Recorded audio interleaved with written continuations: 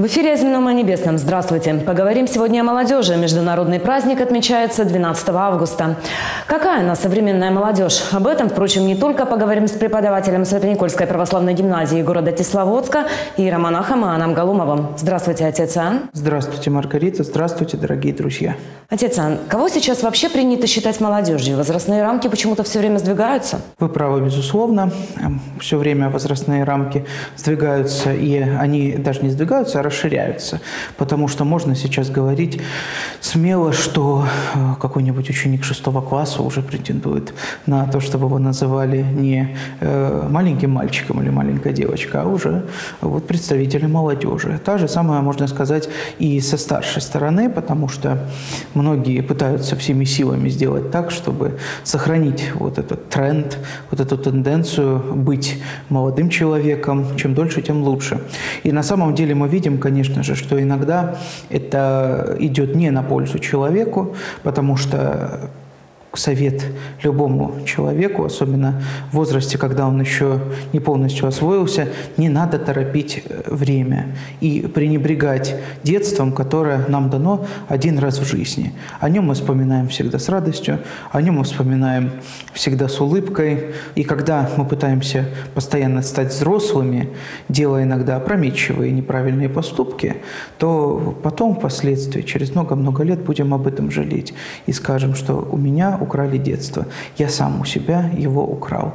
А что касается людей, которые пытаются все время быть молодыми, ну, молодыми быть достаточно хорошо э, с той точки зрения, что э, ты все время активный, ты все время поддерживаешь вот этот тонус, постоянно в движении находишься э, довольно много лет. Это прекрасно, это правильно, ты не прирастаешь к своему офисному креслу там, и к своему дому, к четырем стенам, не вливаешь вливаешься в них, а как раз стараешься узнать мир, э, увидеть его, все замечательные стороны, э, окунуться в природу. Соответственно, это тоже очень правильно и хорошо. Но, ну, наверное, стороны, тоже нужно меру соблюдать, чтобы да, с другой стороны, конечно, нужно да? понимать, что чем взрослее ты становишься, тем больше у тебя э, должно приобретаться мудрости, которой ты можешь поделиться уже с младшим поколением. И когда ты этот баланс вот стараешься не увеличить себе возраст как путем каких-то махинаций и э, приобщению к каким-то взрослым делам, порой не очень хорошим, а с другой стороны ты пытаешься сохранить молодость себе, э, сохраняя мудрость, которая у тебя уже должна быть приобретена э, из твоего жизненного опыта, конечно же, этот баланс нужно соблюдать всегда и знать, что рамки какие-то определенные возрастные мы можем не назвать, но мы должны понимать, что в определенной степени у человека это должно срабатывать на личностном уровне. Отец Ан, говоря в общем о молодежи в России, нитить собирательный образ. Какая сегодня она? Как и всегда, она бунтующая, она желающая отличаться от старшего поколения, она желает правды, она жаждет этой правды, как э, говорил об этом Христос в заповедях блаженства, говорит об этом. Но в то же время есть, конечно, отличительные особенности. Ну, во-первых, стоит сказать о том, что молодежь сейчас – это, конечно же, люди, которые не просто погружены с головой, а, можно сказать, окружены вот этой скатывающейся постоянно лавиной э, огромного количества информации. Каждый день эта лавина увеличивается. Молодежь, которая может сейчас э, написать текст там, диссертации или какой-то письменной работы, просто два клика, нажав на интернет-ресурс, где присутствует искусственный интеллект, и задав какие-то определенные параметры. Молодежь, которая может найти ответ на любой вопрос не из книжек, не путем э, какого-то труда, усидчивости, упорства, а, опять же говорю, с помощью нескольких кликов на своем э, смартфоне или на планшете. Молодежь, которая знает огромное количество информации, поступающей в сиюминутно, можно сказать, э, в онлайн-режиме, э, но в то же время которая не может с этой информацией во многом совладать, потому что ее поток, ее обилие настолько мощное, настолько сильное, что, естественно, это может погребсти человека. И поэтому, конечно же, здесь э, нужно говорить об осторожности в этом собирательном образе. С другой, с одной стороны, это хорошо, что молодой человек, он может э, быстро найти ответы на интересующие его вопросы и может использовать те материальные и э, искусственные виртуальные блага, которые нам даются современным миром. С другой стороны, человек из-за этого как раз-таки обленивается, становится э, человеком разнузданным с точки зрения поиска информации и самообразования. Он забывает о том, что э, необходимо э, искать информацию и познавать что-то новое с помощью труда, и с помощью умственной работы. И, конечно же, это тревожно и очень печально. Поэтому собирательный образ молодого человека – это человек, который стремится узнать все, но в то же время может потерять очень многое, как раз-таки из-за неумения обладать такого огромного рода информации. Отец Ан, не могу не спросить, а духовность на сознание и поведение современной молодежи, на ваш взгляд, сильно влияет? И вот, скажем, молодежь православная от сверстников невоцерковленных в чем отличается и как это заметно в обычной жизни? На своем примере и жизненном опыте могу сказать, что да. И здесь не обязательно приводить какие-то э, воскреленные э, примеры каких-то великих духовных свершений, такого-то необычайного уровня нравственности в жизни молодого человека, который приобщается к церковной жизни и именует себя православным христианином. Но с другой стороны, если говорить о формальных вещах, это человек, который приучен самоорганизации организации. Это сто процентов очень важно, и об этом нужно говорить. Потому что если воскресный день для э, светского и невоцерковленного человека является днем, когда можно поспать и встать утром, э, понежившись в кровати в 12 часов дня, и тем самым пропустив э, огромное количество времени, человек, который именует себя верующим, он, по крайней мере, э, может ну, вообще-то обязан встать рано утром, прийти в храм, помолиться за божественной литургией. Отсюда, конечно же, возникает вот эта вот самоорганизация и самообладание. И э, ведь начинается жизнь э, человека как раз-таки с этих мелочей. Проснуться на полчаса раньше, заправить кровать, позаниматься спортом, затем что-то почитать свободное от работы или от учебы время. И это, конечно же, очень важно. И, как показывает практика, именно люди, которые имеют э, такой жизненный опыт соприкосновения с церковной жизнью, они как раз-таки и э, отличаются от других светских людей. У них больше времени уходит на самосовершенствование, они более эрудированы во многих вопросах.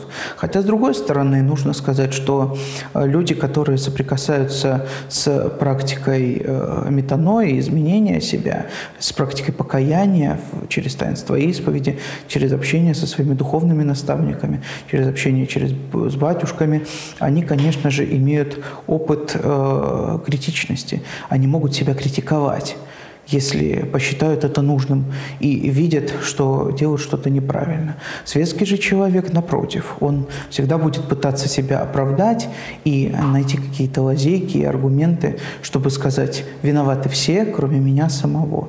А это, конечно же, очень плохо. Самокритичности не хватает нашему молодому поколению. И как раз-таки церковь это предлагает. Не значит, что нужно бить себя в грудь, плакать, э, падать на колени при храме и э, повторять молитву мытаря, это значит, что нужно постоянно помнить, я несовершенен, как несовершенен весь наш мир.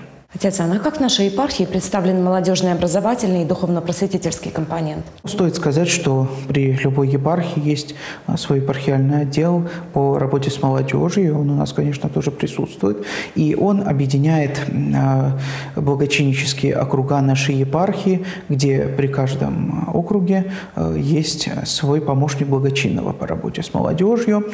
Его функции заключаются в том, чтобы организовать, собрать, вести постоянно постоянный контакт и работу с теми молодыми людьми, которые, в свою очередь, образуют какие-то определенные молодежные сообщества при больших приходах.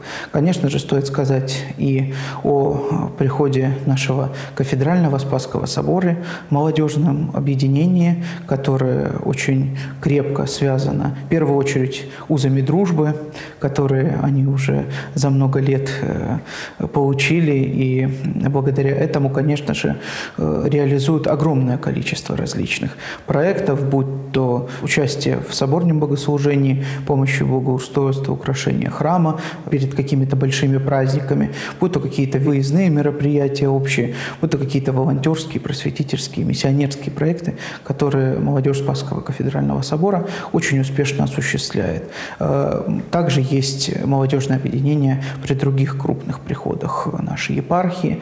Это и э, при Никольском соборе города Черкеска, при Покровском соборе города Минеральные воды, э, в Ессентуках, соответственно, в э, других крупных городах.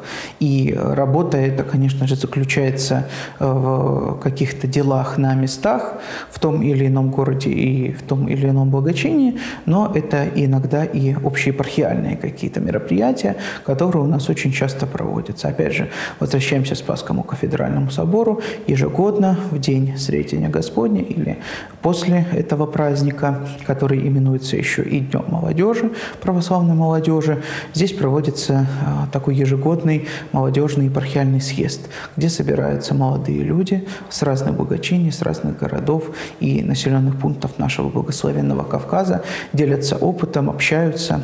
Это очень важно. Существуют э, интересные интеллектуальные молодежные игры, Берейн ринги, которые проходят э, по традиции Великим постом и посвящены разной тематике, разным направлениям. И э, в этих мероприятиях также участвует молодежь нашего благословенного Кавказа со всех благочинических округов. Естественно, можно и нужно сказать о таких крупных мероприятиях, как молодежный крестный ход, который проводится накануне или после Дня памяти святых равноапостольных Кирилла и Мефодия от э, девятой станции, от города Пятигорска до Успенского, Бештогорского, Тарафонского монастыря.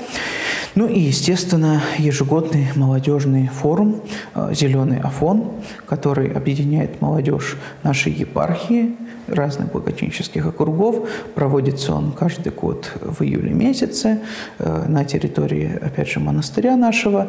И в этом году он собирался уже 20-й юбилейный раз. Отец Ан, если позволите, хотелось бы немного подробнее остановиться на работе Свято-Никольской православной гимназии. Как давно она вообще существует и как построен там образовательный процесс? Ну, уже 33-й год пойдет ее бытия. И на самом деле, конечно же, она была создана из воскресной школы, э, в которую стали ходить э, маленькие дети из православных верующих семей, объединенных э, Свято-Никольским приходом. Еще речи о соборе тогда не было. И э, мы видим, что за эти 33 года э, гимназия действительно стала одним из самых ведущих и заметных православных учебных заведений нашей Русской Православной Церкви. И, э, конечно, мы говорим о том, что ее отличительным признаком, характерным, является, что мы воспитываем не детей из семей священников или каких-то глубоко набожных детей в семьи, которые постоянно при соборе, при приходе, а из светских семей, которые, видя перспективу именно духовного развития, отдают своих чад в первый класс и затем проходят какое-то знакомство с церковью и процесс воцерковления наряду со своими детьми. Мы нередко можем услышать от родителей «я еще недостаточно воцерковлена» или «я еще недостаточно воцерковлен». Но мы видим, что в гимназию сейчас отдают э, своих детей уже выпускники ее, которые много лет назад закончили закончили, создали свои семьи, выучились, стали родителями, и вот уже их дети учатся у нас в пятом, шестом, седьмом классе в более младших классах. Мы видим эту преемственность поколений. И, конечно же, особенность работы э, нашей гимназии заключается как раз-таки не только в том, что есть какие-то предметы православного компонента, как они называются, но еще и, конечно же, немаловажно уделяют именно процессу воспитания в духе православия, в духе понимание э, Христовой истины. Отец Ан, я благодарю вас. Это была программа о земном и о небесном. До встречи через неделю. Всего доброго.